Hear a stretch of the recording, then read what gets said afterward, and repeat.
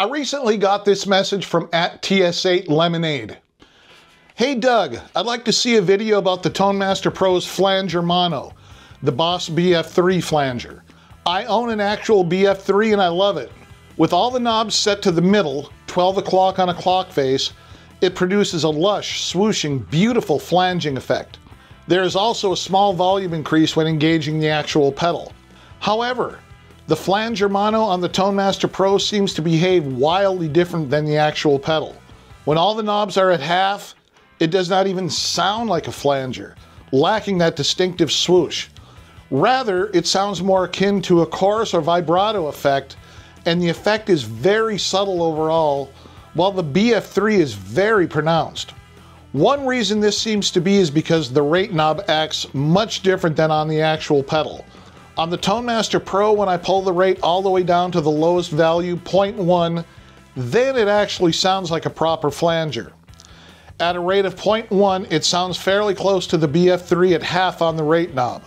The BF3 can then of course go lower, producing long drawn out swooshes, while the lowest the ToneMaster Pro can go is 0.1. I've largely just been using the electric flanger because I can't quite figure out how to get the flanger mono to do what I want it to do. Okay, this one really caught my eye for some reason, and I don't even know why because I don't use flangers I don't even think I've tried the flangers in the ToneMaster Pro yet. But this seemed to be kind of like an investigative thing, and I thought, well, can the ToneMaster Pro's mono flangers sound like the Boss BF3? And should it? I don't know, maybe it's because I've never used a BF3 before, but I really have no expectations about what either one are supposed to sound like. So I'm going to put the Boss pedal on one side, the ToneMaster Pro on the other side, and do, you know, your basic compare and contrast. First thing I did was snag an original BF3 off of Reverb, and I got it for a great price, which is cool because once I'm done with this project, if I don't feel like hanging onto that pedal, I can sell it and probably get my money back. It arrived around a week later in great shape, and I hooked it up to the power supply on my Tonex board because I had no idea how to change the battery on it. I thought you took off the bottom plate, but no, no, no, no, no, no. So what I did was I downloaded the manual and found out that it has a thumb screw that you can loosen and then the pedal kind of like pulls apart so you can change the 9 volt battery in there. But right now, you know, I'm just keeping it on the power supply on my board. But that just goes to show how familiar I am with Boss pedals. Not very. You know, then I put together a test preset with the deluxe reverb amp, of course, the mono flanger, and then I had um, FX Loop 1 where I connected the BF3 through Loop 1. I also set up foot switches for them and switch links so that I couldn't have one on while the other one was on. Now it was time to see if at TS8 Lemonade was right or not. First, I turned on the real pedal, and there it was, that lush you know, just beautiful swooshing sound. I mean, and this was running in mono. It could have been running in stereo. It just sounded so, so nice. And that was with all the knobs at the noon position. I tried the same thing with the mono flanger on the ToneMaster Pro and put all the knobs at noon position, except for tap division.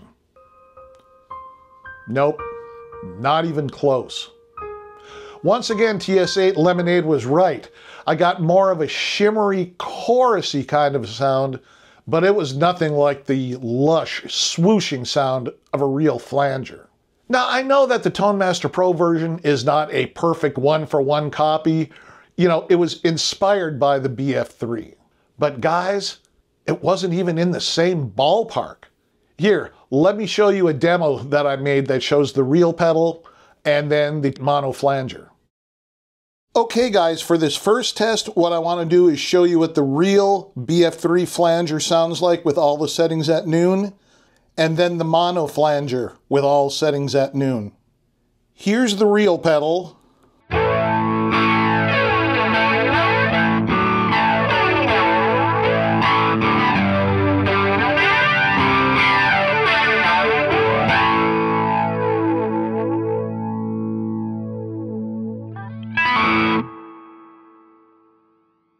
Here's the monoflanger, same settings.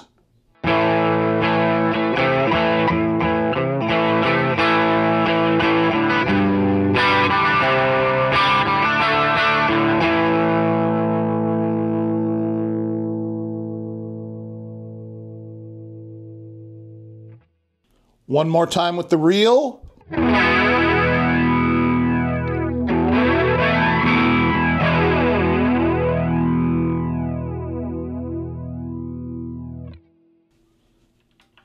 And then again the mono flanger.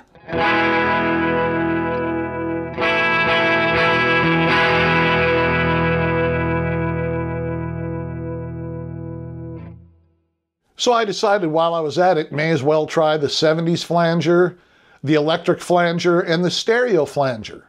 Now I wouldn't expect any of them to really sound like the Boss pedal, but if you put the rate at noon, none of them sounded usable unless you wanted some kind of little startling effect for something. But it's nothing that you would consider, you know, a basic flanging sound. Here's a demo of all those pedals with all the settings at noon. Now for this test, I want to show you what the 70s flanger, the electric flanger, and the flanger stereo sound like with their settings at noon. Here's the 70s flanger.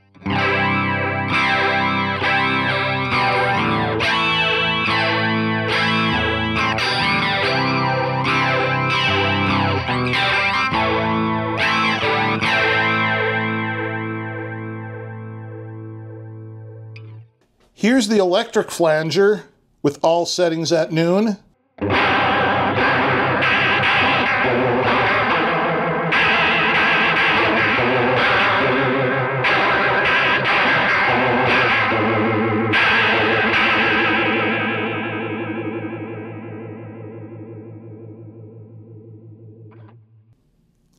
And here's the stereo flanger.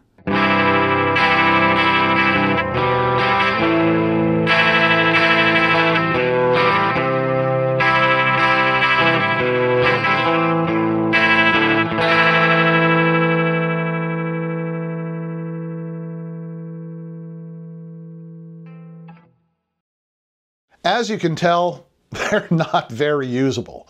Now, I'm not going to go and buy an MXR flanger or an electric mistress just to prove my point, but I would imagine the ToneMaster Pro versions do not sound like their real world counterparts, especially if all the settings were made exactly the same.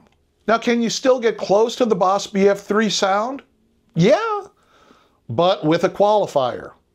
When you set the rate on the mono flanger down to 0.1, yep, then it starts to sound like a real flanger.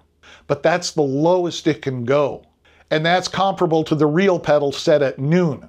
So in other words, if you wanted to get the sound like that Eddie Van Halen used on And the Cradle Will Rock, you know, the intro part, there is just no way to do that on the Tone Master Pro. On the Boss BF3, set the rate to 10, turn the resonance up all the way, you're, you know, you're most of the way there. It's that easy. I made a preset that you could use for the intro to And the Cradle Will Rock. Now first, here's the flanger mono.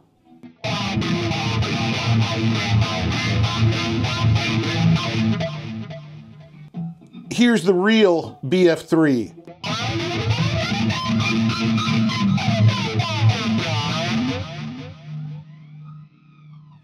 You can just hear how slow and deep that is. And the flanger mono, this is as slow and deep as it gets.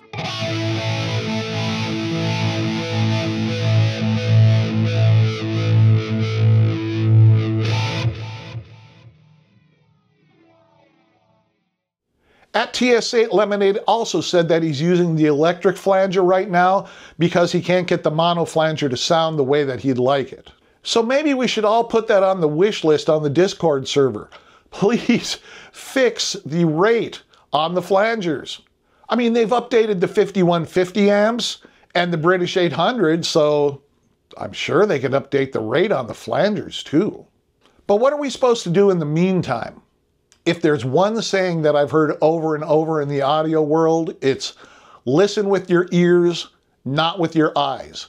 Now, at first, that doesn't make sense because how in the world are you supposed to be listening with your eyes? But we do it all the time. We look at our pedals, we look at our amp settings, we look at the Tone Master Pro settings, we take a look at wave files on our recordings. We're looking, looking, looking instead of listening, listening, listening.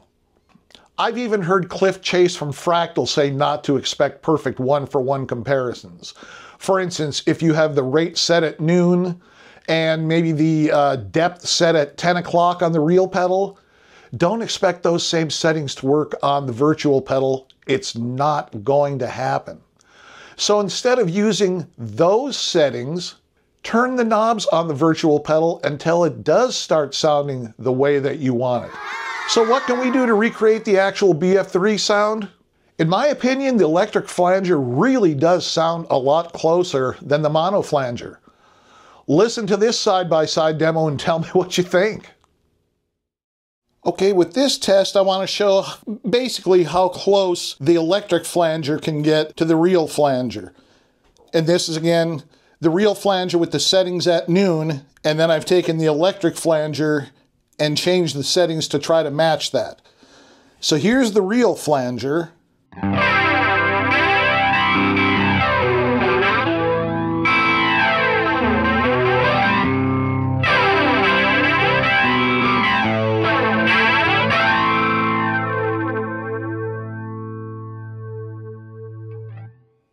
Now here's the electric flanger, and I've taken the rate and dropped it all the way down.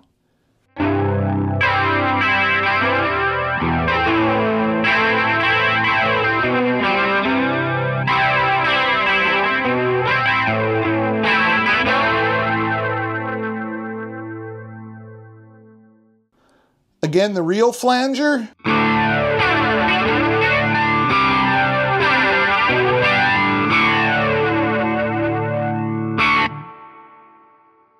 And the electric flanger.